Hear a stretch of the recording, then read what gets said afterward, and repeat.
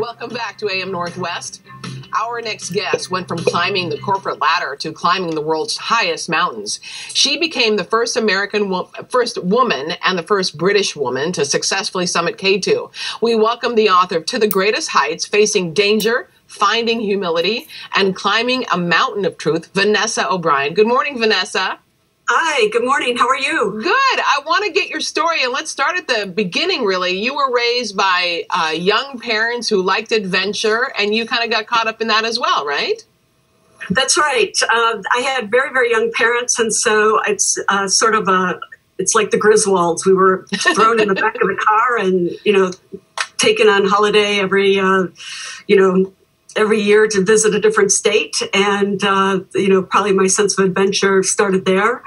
Um, and if you wanted to spend time with your dad, it was doing what dad liked, which was uh, ice fishing and hunting and, wow. and things like that. So, um, of course, you couldn't talk during those things because uh, you'd scare, you know, the fish or stuff like that. So it was a, it's kind of funny and it's mentioned in the book. That's so great. Um, then you climb the corporate ladder um, and did really well financially. But then 2008 hit.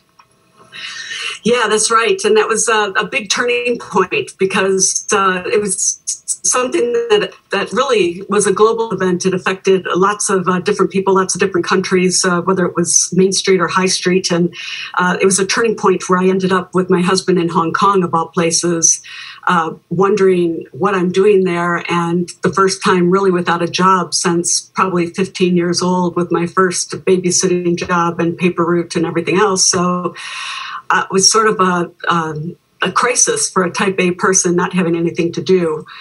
Um, and that's when I was inspired probably by the large buildings, looking around and walking around and thinking, okay, what's next? Because I can't really sit home and do nothing.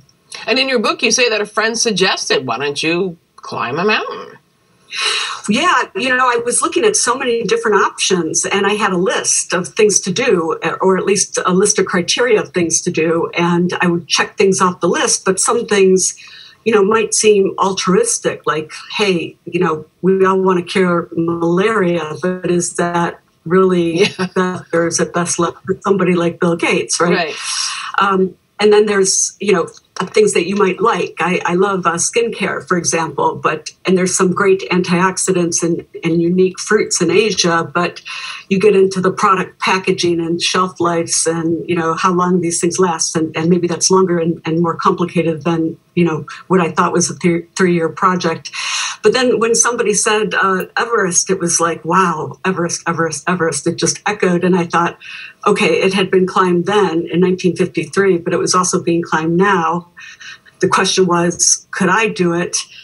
Even though I didn't have any climbing skills, I thought climbing was um, a skill that could be learned and therefore taught. So that's how I approached it. And you really did approach it in a way you uh, watched every DVD that you could. You trained really hard. Um, I thought it was really interesting is that the challenge is really a mental challenge. Yeah, it's much more mental than people think because uh, these, uh, if you're on a high mountain, which are they're really all in Asia, the all peaks over seven thousand meters, eight thousand meters, um, they're all in Asia so if the first like 110 mountains if you count down from 1 to 110 are all in asia uh, these these uh, sort of big mountains takes anywhere from six to eight weeks to climb because the body has to acclimatize. It's a bit like going underwater where you have to you know get used to the pressure. Right. Um, but you have to do it in, in the reverse going up. So you can't just climb really quick really high or you get sick uh, you know acute mountain sickness. There's other terms for it, AMS.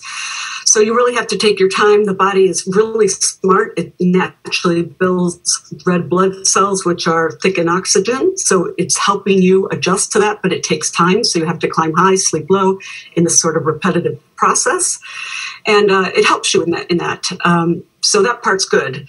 But yeah, it, it does take time and uh, you learn in that process as well, you know, but the mental part comes because it takes time. So if it was a, a quick process, I think, uh, you know, people could go in and get out. But because it takes time, the mental process has to keep you there and you have to keep your mind focused. And that's what um, can can psych a lot of people out because they can uh, let that time and empty space uh, in their minds let other things come in. And fear is a big uh, uh, proponent of that. It likes to take empty space and uh, create imaginary uh, things in that empty space. Oh, I bet. Um, so you reach the top of K2. What's the feeling you have?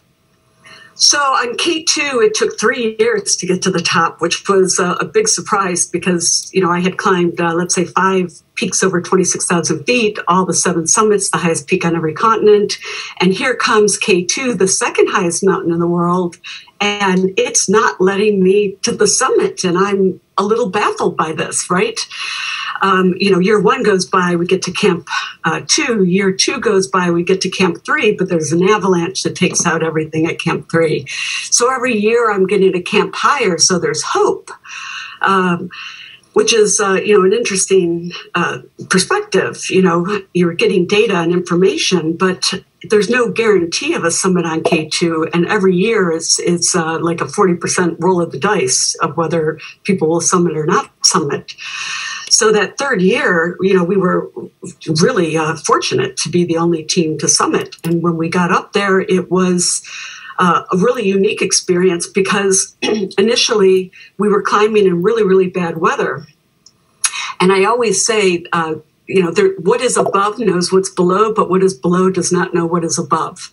Oh. So, in a in a poetic way, if you can get through some of these really bad weather, um, you know, uh, bits around the mountain, you could be rewarded with a lovely summit, but you'll never know until you get there because every 300 meters or 1000 feet it's almost like dante's inferno right? You have to you have to almost earn yourself the next passage if you will.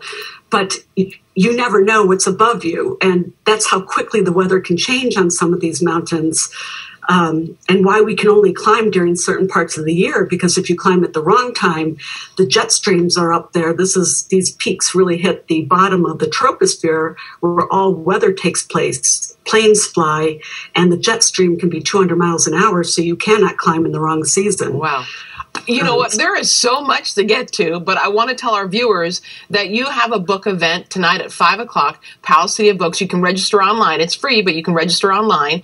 We'll put all that information for everyone on our website at katu.com. We barely touched, scratched the surface of this. Um, it's fascinating. Your all your challenges, your struggles, all of that. It's just incredible. And by the way, it's super dangerous to do. So more power to you. Thank you so much, Vanessa. I appreciate your time. Thank you so much. Great to meet you. Great. Welcome back to AM Northwest. It's a true rags to riches story of a Holocaust survivor like no other. You likely haven't heard of Siggi Wilzig, but his journey from